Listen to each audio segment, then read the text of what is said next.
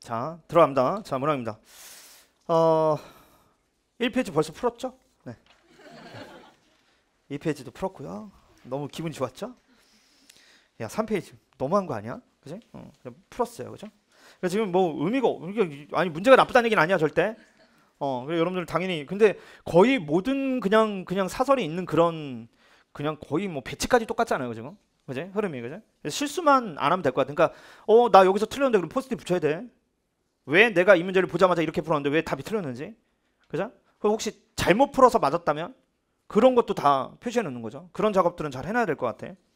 자, 일단 13번 봐볼게. 3점짜리에서 나름 13번에서 위기를 겪은 애들 분명히 있었을 거야. 어떤 애들? 어떤 애들? 문제 안 읽어. 음, 두주윤이 알파벳하고 음, 등차구나. 아, 그래. 근각의 저항계 이용해 볼까? 근각의 저항계 쓰는 순간 뭐하니? 미쳐버리지? 그런 애들 나왔을 것 같고 심지어는 아마도 아마도 그지? 서로 다른 두 실근을 가지니까 또 판별식부터 써봐? 막 이런 친구들 그지? 원래는 만약에 해야 되면 해야죠. 근데 그 모든 게 지금 뭐 하는 거니? 몽둥이죠? 왜? 성선을 믿지 않았잖아. 그러니까 이게 은근히 많을 거야. 그러니까 이 여, 이, 여기서부터 아마 시간차가 많이 드러났을 거라는 거죠. 얘에 대한 2차 방정이 서다 두실이래. 그럼 잘 봐봐. 2차 방정이 근을 찾아야 되는 거 아니야? 그럼 여러분 근 찾을 때 원래 뭐부터 해니? 인수분 근의 공식이 떠올라? 인수분 해봤더니 안 되면 그런 거잖아. 근데 이 문제는 이건 누가 봐도 인수분해가 제발 혹시라도 혹시라도 모를까봐 또 가로로 연산해 준 거 아니야?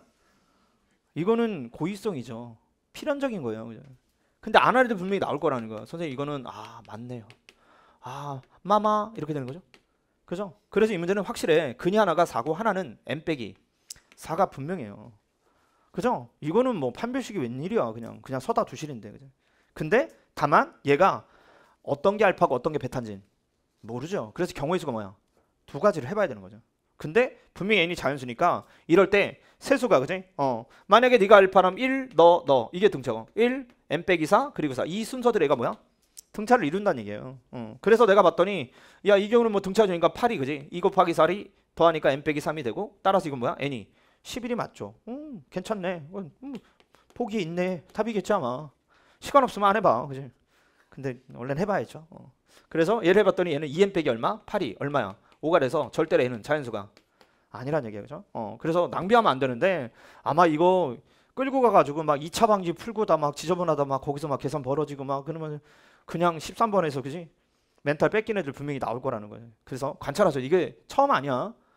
실제로 이런 경우가 꽤 있다고요. 분명히 인수분해가 되도록 일부러 설계해 줬는데 인수분해 안 하고 풀어가지고 시간을 낭비했던 게 이미 처음이 아니란 얘기야. 사실 그죠? 이런 문제들이. 오케이 체크해 주시고 그 다음에 이제 오랜만에 14번 뭐 이영종님 문제가 4점 4점짜리 나오고 지랄이야 이런 거지? 어, 지랄은 아니에요, 그죠? 어, 그냥 그냥 하면 돼, 그죠? 어, 어렵지 않았던 거고. 그 다음에 15번.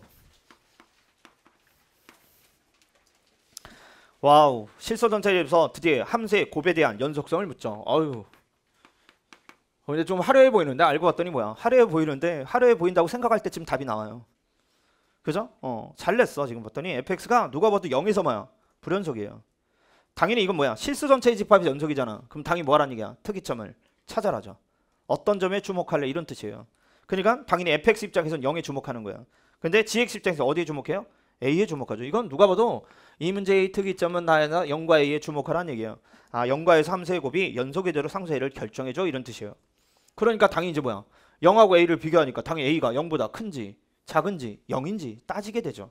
필연적인 거야. 이런 대상. 그죠? 어, 그러니까 그런 대화를 하다 보니까 뭐 일단은 a가 만약에 뭐야? 0보다 크다고 볼게. a가 0보다 크면요. 이미 아니 a에서 얘가 그러니까 당연히 0도 a도 둘 다 연속이어야 되잖아. 그지? 근데 누가 봐도 이건 0에서의 함수값이요. 이미 뭐야? 분명히 2하고 3으로 f가 뭐야? 달라요. 다르다고. 그러면 당연히 오른쪽에 gx가 0을 넣었더니 지형이 얼마여야 돼? 0이어야 돼. 근데 지형은 a가 0보다 크면 0보다 큰 부분이니까 사실 0보다 큰 수보다 작은 부분이잖아. 그랬더니 뭐야? 0이 맞아요. 그죠? 그러니까 이미 0을 넣었을 때 2 곱하기 0은 0이니까. 그지? 어, 선생님이 어쨌거나 식을 써주면 이런 거야 지금. fx가 이런 느낌인 거지. 이게 F. 그리고 문제 H가 EX랑 EX 빼기 1. 근데 이거는 확실해. 0보다 작을 때 X가 0보다 크거나 같을 때 괜히 물론 이제 잘 모르면 원래 연속성은 충분히 얘에 대한 자욱한 우가에서 막 기호 쓰고 막 정법으로 남들에게 보여주기 풀이 해도 돼. 근데 실전에서는 그러면 돼 안 돼. 그럴 시간이 없어. 실전에서는 그죠? 어 그래서 자연스럽게 비교를 해봤더니 뭐 일단은 뭐 일단은 A랑 비교해서 A가 0일 때가 있을 거고, 그죠? A가 0일 때가 제일 편하네, 그죠? 어, A가 0일 때, A가 양수일 때, A가 뭐일 때, 음수일 때, 그지? 근데 만약에 A가 0이라면요, 어, 결국은 0에서 얘가 분명히 2하고 3으로 달라. 근데 0에서 얘는 A가 0이라면 분명히 하나는 0이고 하나는 마이너스잖아. 그러니까 자욱한 고건이 뭐해? 달라져요. A는 절대 뭐가 아니란 얘기야. 0은 아니란 얘기야. 그죠? 어, 그러네요. 어, 근데 A가 만약에 양수라면 A가 양수라면 사실은 이게 이제 양수니까 그지 0에서는 미분이 가능하니까 0을 넣으면 얘가 얘가 양수면 0은 이제 A보단 작은 거니까 여기에 대입하는 거니까 지형이 뭐란 얘기야? 0이란 얘기야. 지형이 0이니까 당연히 얘가 2하고 3이어도 연속이 되겠죠. 0으로 같으니까. 어 그러네. 근데 거기서 뭐에서도 0이어야 돼. A에서도 그래야 한다는 얘기야. 근데 얘는 A에서 누가 와도 하나는 2A이고 하나는 2A 빼기는 거 다른 거란 말이야. 그지? 그러니까 당연히 A 양수인 A를 넣었을 때 얘가 뭐여야 돼? 0이 돼야 한다는 거죠. 근데 A는 양수니까 어디야? 여기인 거죠. A가 0보다 크니까 여기를 넣었대. 그러니까 마이너스 2A 플러스 2가 얼마란 얘기야? 0이 돼야 한다니까. 아, 그래서 A가 얼마인 거야? 1인 거죠. 그죠? 어, 자연스럽게 일단 우리가 A 값이 나온 거야. 근데 A가 음수면 어떻게 돼? 음수면 결국 A가 음수일 때는 사실 얘가 음수니까 오히려 0일 때도 봐라. 음수면 0이 여기인 거 아니야? A가 음수면 0은 여기 포함되는 거야. 그럼 0 넣으면 실제로 뭐야? 마이너스 1이요. 0에서 이미 불연속이 돼요. 그죠? 서로 다른 2하고 3에다 0이 아닌 값을 곱하면 다를 거 아니야. 그러니까 역시 따져볼 필요가 없다는 얘기죠. 그죠? 어, 정직하게 가는 거야. 그러니까 선생님이 지금 여러분들 보여주려니까 함수를 쓰는데 시간이 걸린 거지. 여러분들이 있는 거 가지고 푸는 거잖아. 시간을 낭비하면 안 돼. 어, 정직했던 문제이고요.